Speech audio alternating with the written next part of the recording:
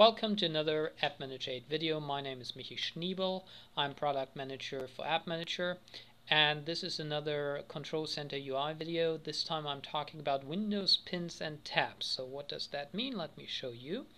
So in my other videos you might have seen that my task and my system status bar is collapsed to the side and if I hover over it, it uh, slides in which is a nice things so you can use the pins here to make them stay or go away. So if I hit that pin um, this one will stay or if with the navigation I hit the pin again it goes away.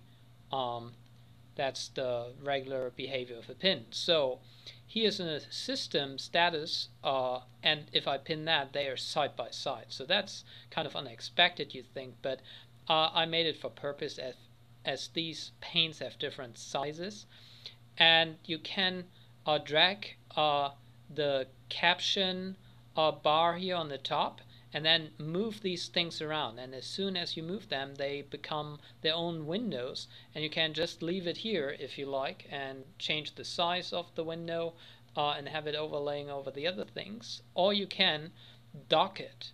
By using these icons here on the screen you can dock them to specific areas like uh, dock them to the most far left and now I have it sliding from the left side in. So let me undo this, uh, pin it, drag it, um, and now I want to uh, have it back as a tab. So I move it to the tabs up here and then it shows up as a tab. If I release the mouse button it comes up as a tab. As soon as I unpin or pin something all of them are now grouped in these tabs uh, and have the same size. So that's the nice feature. That's the way you can manipulate the look and feel of the UI. These settings get stored by user.